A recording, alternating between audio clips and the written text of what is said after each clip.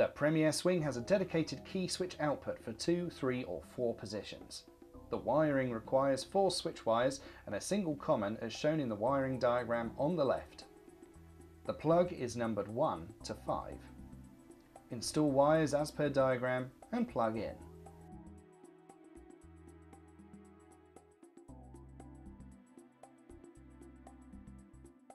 This is an example of how the key switch works, changing the operating functions for your customers.